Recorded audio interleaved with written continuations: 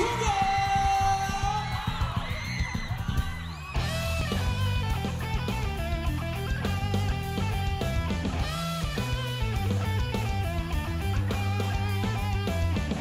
오케이.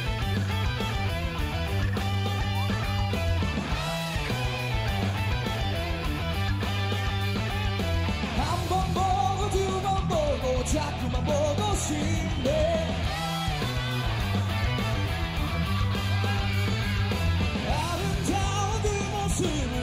그만 보고 싶네.